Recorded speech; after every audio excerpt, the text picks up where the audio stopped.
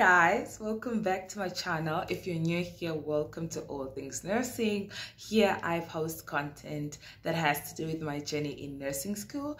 I'm a third year honors degree nursing student. I specialize in midwife community nursing and general nursing and as well as mental health nursing. So yeah um welcome to my channel. And if you're old welcome back. So in today's video we are going to dive into um you know as a foreign nurse as a foreign um health practitioner who didn't study in namibia and would like to work in namibia what are the requirements? What's the procedure? This is a highly requested video um on my channel. So let's dive into it. For first of all i need you to familiarize yourself with the website. This website is um Ooh, let me just unplug.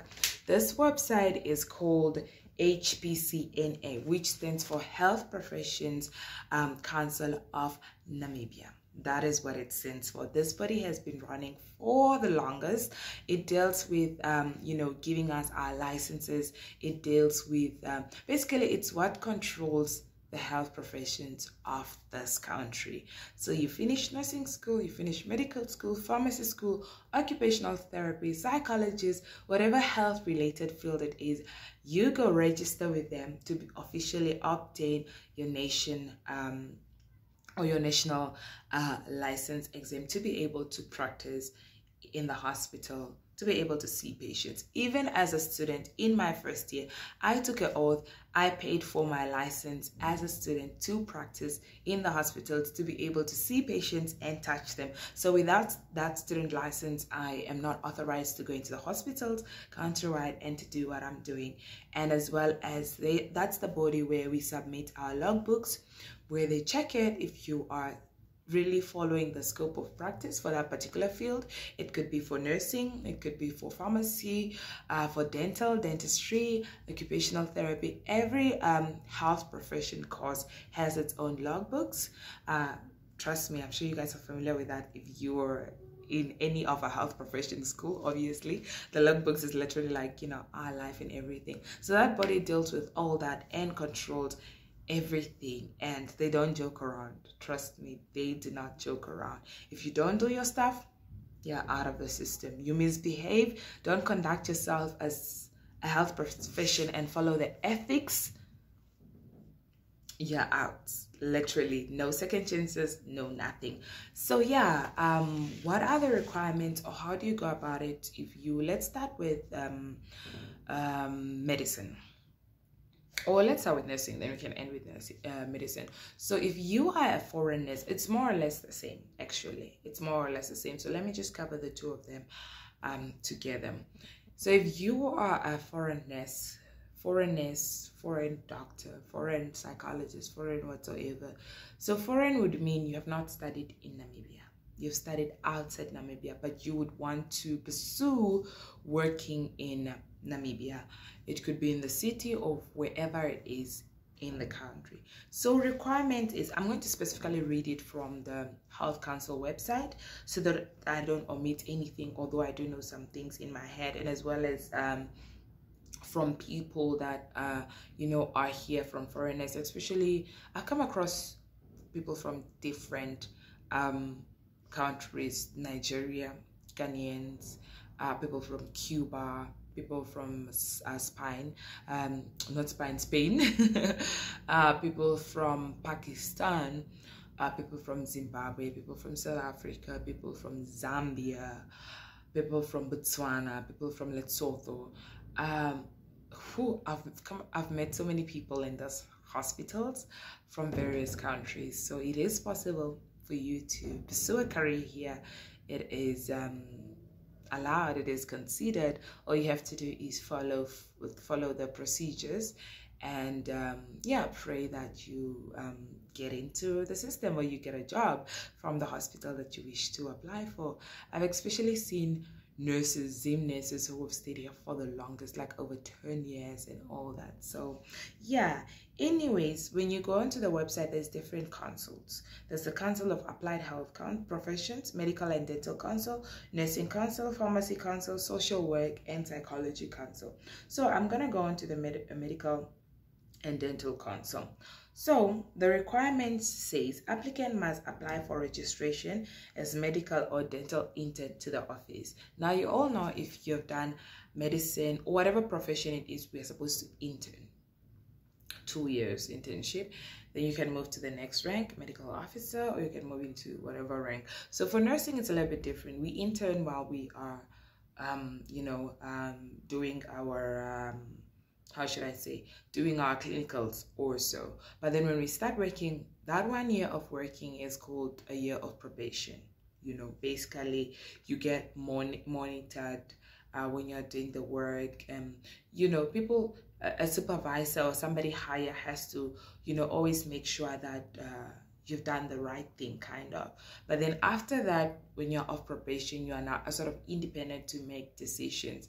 This is just to prevent medical errors to prevent to prevent medical hazards because you are still fresh from university and uh, um, the chances of you you're not used to working environment. You're not used to uh, you know that whole experience. Is a bit different from when you're a student and then when you are employed you know.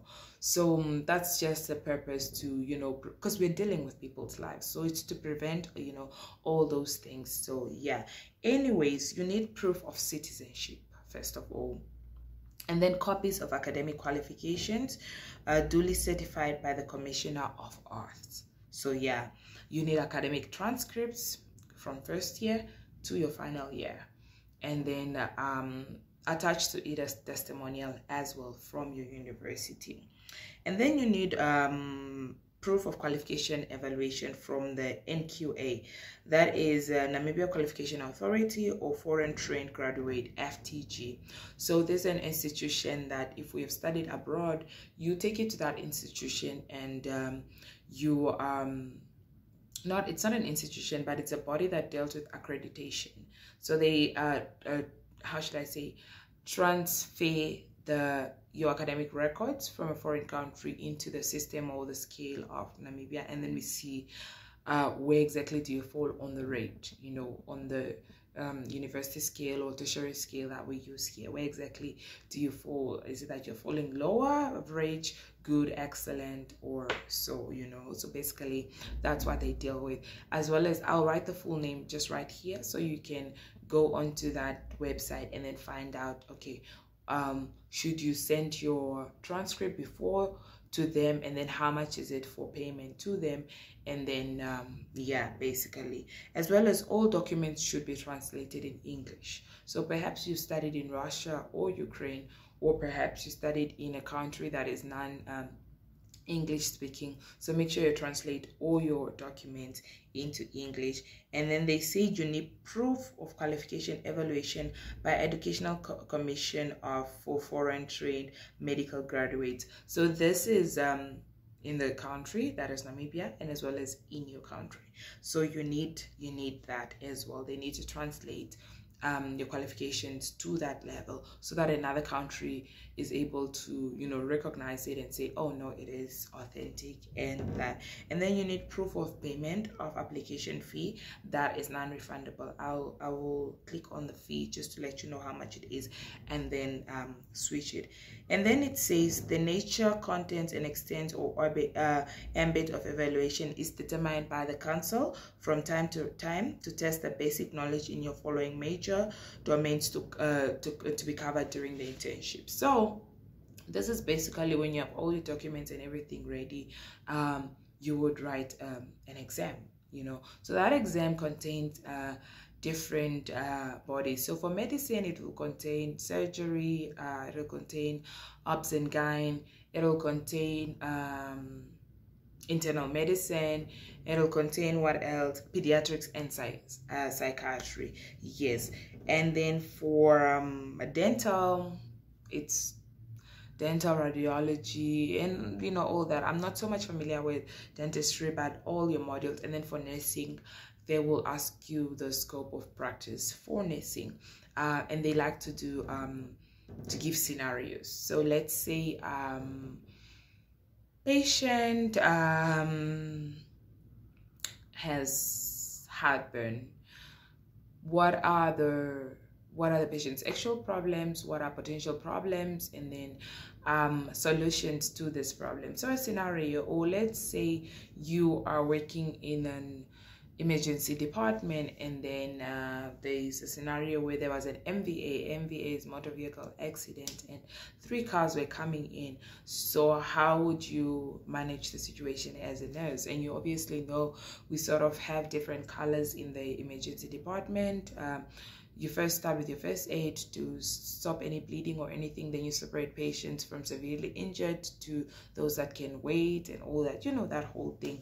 So and also confidence you know with confidence with confidence so yeah um for nursing i'm not so sure if our exam is written or orally because i know for us we do two parts. We write and then we do orally. So i think basically it's the same thing. You're also going to do the oral part and then you're going to do the uh, theory part as well. So yeah uh, those are the requirements everything is on the website. Um, you can go through and just specifically know what are the documents. But yeah proof of citizenship transcript requirements and then have finances money ready because these exams are for uh, they're not free. You have to pay for them. And as well as they are written in namibia. So you'll have to come all the way to namibia and write them here. It's not written online or anything like that. So the fees are costing um let's see uh, let's see let's see. So it, it depends on you know it depends on what it is. Okay but i think they don't have it them here on their website. But when you write to them and you email to them and you like apply uh you sort of you sort of uh they let you know what it is. So yeah scope when you go onto the website there's that helps you with different scopes of practices. So click on it and familiarize yourself with what should you study or how should you prepare for this exam? That scope of practice will guide you. They are here on the website. And then as well as additional examinations if there are any. And um, so yeah as well as yep. So basically this is it. This is basically it and how to um, go about it and to oops and how to go about it and to to register and the requirements. So yeah you will just feel everything you see? Feel it like that and then follow the steps. So yep. Guys that's basically it. And um, yeah i would uh, do a separate videos that talks about uh, salaries. Let's cover salaries in our next video. And then we just dive into how much it is foreign nurses get paid here. And um, yeah i would also share with you some experiences from uh, the different foreign nurses but that's the procedure. Um, nothing comes easy. Everything can be stressful. But if you are focused and you really want something you do it um, the the right way and you'll follow the steps. Please don't take shortcuts. Don't do those things of paying for who who knows who who. Doesn't work. The website is here and i was even reading directly from the website even though i knew some of the things because i do not want to be biased or i do not want to you know assume whatsoever. Read read read on the website to inform yourselves. And um, if you have questions always in our comment section or my Instagram and Martha Cupid, it is open. As well as if you know a foreign nurse that is working here, a foreign doctor, a foreign pharmacist that is working here, you know, hit their inbox and ask them. But some of uh, things change every year. Every year they update things, but more or less things that are gonna be the same is uh, exams there's always going to be an exam. There's no way for you to not write an exam and then obtain a license in this country.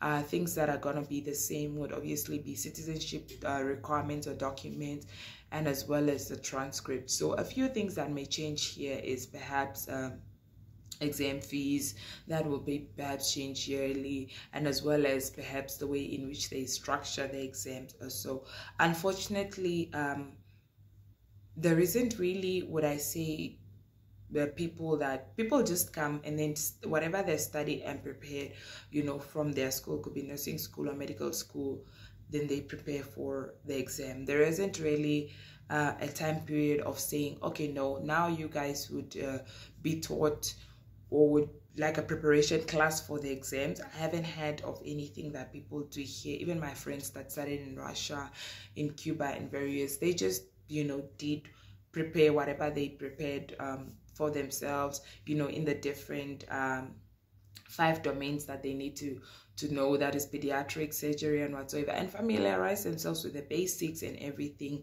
and just went to write the exams prayed and then went to write the exams. So yeah basically that is just how you should prepare and ask where you don't know don't assume.